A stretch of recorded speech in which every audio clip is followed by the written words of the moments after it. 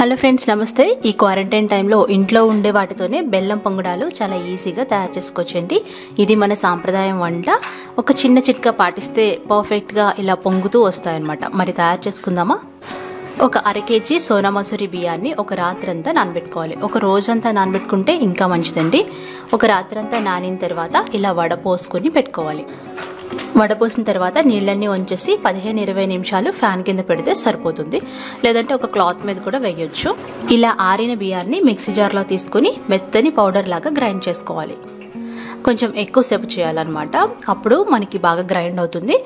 తర్వాత ఒక జల్లెడ తీసుకుని జల్లెడలో జల్లించుకోవాలి. పిండి జల్లెడ అనమాట పైన మొరమంతా వచ్చేస్తుంది. కిందకి మెత్తని పిండి మాత్రమే కింద గిన్నెలోకి వెళ్తుంది. ఇదే తడి బియ్యం పిండి.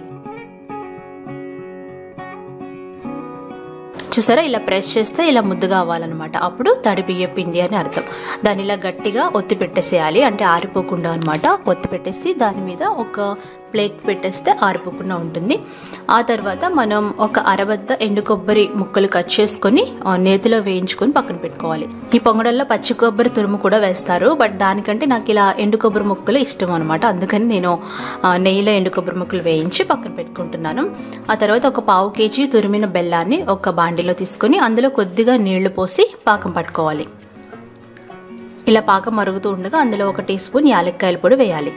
పాకం మనకి అరిసెల పాకం మాదిరిగా రావాలి. ఇలా మధ్య మధ్యలో కలుపుకుంటూ మీడియం ఫ్లేమ్లో మాత్రమే పెట్టుకుని మనం పాకం పట్టుకోవాలి. కొద్దిగా నీళ్ళు తీసుకుని అందులో ఈ పాకాన్ని చెక్ చేసినట్లయితే అది జెల్లీ లాగా ఫామ్ అవ్వాలన్నమాట. అంటే ఇలా జెల్లీ ఎలా మూవ్ అవుతుందో అలా మూవ్ అయ్యి ప్రెస్ చేస్తే ప్రెస్ అవ్వాలి. అంతేగాని గట్టిగా అయిపోకూడదు. ఎగ్జాక్ట్గా ఇలా ఫామ్ అయిన తర్వాత స్విచ్ ఆఫ్ చేసేయాలి. ఈ పాకం రావడానికి పదిహేను ఇరవై నిమిషాలు టైం పడుతుంది. ఆ తర్వాత ఈ పాకంలో వేయించుకున్న ఎండు కొబ్బరి ముక్కలు నేతితో సహా వేసేయాలి. ఆ తర్వాత మనం గ్రైండ్ చేసి పెట్టుకున్న బియ్య పిండిని కొంచెం కొంచెంగా వేసుకుంటూ ఇలా కలుపుకోవాలి. ఇది చలిమిడి అనమాట ఇలా ఉండేటప్పుడు ఇంకొకరి హెల్ప్ ఉంటే ఇంకా బాగుంటుంది. తొందరగా కలుపుకోవచ్చు. లేదన్నా సరే మనం ఇలా పక్కన పెట్టుకొని కలుపుకోవాలి. చూసారా? ఈ మూవీ క్లిప్లో చూపించినట్లుగా ఇలా జారుగా రావాలి. ఆ పిండి మిగిలితే మంచిదేనండి. సో అందుకని ఎక్కువ పిండి తీసుకుంటాం అనమాట మనం. పిండిని పక్కన పెట్టుకోండి. ఇలా మన జారుగా వచ్చేంత వరకు చలిమిడి తయారు చేసుకుని పక్కన పెట్టుకోండి. ఇది కాసేపు కాసేపటికి గట్టిపడుతుంది. అందులో రెండు టేబుల్ స్పూన్ల నెయ్యి వేసి ఒకసారి బాగా కలిపేసి మూత పెట్టి పక్కన పెట్టుకోండి. ఇక్కడ మాకు చలివిడి బాగా ఇష్టం అనమాట అందుకని మా బాబు నేను కొంచెం చలివిడి తీసుకుని దాచిపెట్టుకుంటున్నాం తినడానికి. తర్వాత కొంచెం వేడి నీళ్ళని బాగా కాచుకోవాలి.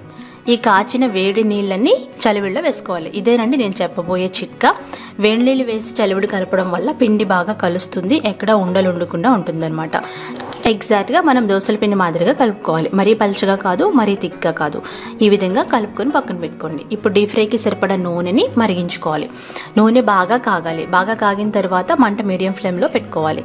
అప్పుడు మనం ఒక గుంట గరిటతో తీసుకొని గరిటెడు పిండిని డైరెక్ట్గా మనం నూనెలో వేసేసేయాలి. అది కాసేపటికి ఇలా బాగా పొంగి దాని అంతటా అదే పైకి తేలుతుంది. అప్పుడు మనం రెండో వైపు తిప్పుకోవాలి. చూసారా? మీడియం ఫ్లేమ్లో మాత్రమే డీప్ ఫ్రై చేసుకోవాలి. అప్పుడే లోపల కూడా బాగా వేగుతుంది. ఇలాంటి మంచి బ్రౌన్ కలర్ వచ్చిన తర్వాత దీన్ని తీసి పక్కన పెట్టుకోవాలి. బాగా పొంగుతూ వేగుతాయి కాబట్టి వీటికి పొంగడాలని పేరు వచ్చిందేమో అనుకుంటున్నానండి నేను. ఈ పొంగడాలు మనం వేసినప్పుడు ఈ చివర్లో ఇలా మాడాలన్నమాట. అప్పుడే మనకి పర్ఫెక్ట్గా వచ్చినట్టు అర్థం. ఇలా మీడియం ఫ్లేమ్లో వేయించుకొని పక్క తీసుకోండి. ఇవి ఎక్కువ మొత్తంలో వండుకుంటే ఒక నెల రోజుల వరకు నిల్వ ఉంటాయండి. ఈ క్వారంటైన్ టైంలో ఈ ట్రెడిషనల్ రెసిపీ మనం ఎందుకు ట్రై చేయకూడదు? మీరు ఒకసారి ట్రై చేసి బాగా వస్తే నాకు ఫీడ్బ్యాక్ పంపించండి. మరికొన్ని వంటల కోసం అత్తమ్మ టీవీని సబ్స్క్రైబ్ చేసుకోండి.